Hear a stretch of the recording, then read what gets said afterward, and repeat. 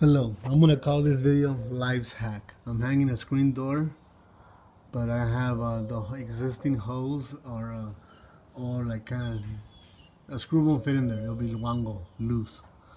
So a friend of mine told me to put some golf, uh, you know, the little tees, but I don't have any. You can also use toothpicks. I don't have any, so I'm using a little branch. Um, cut little pieces and should work like toothpicks and uh, golf tees. So we'll give it a shot. Hope you guys like the video. Life hacks, hanging a screen door on a door jamb that don't have no more uh, wango. Alright, al rato.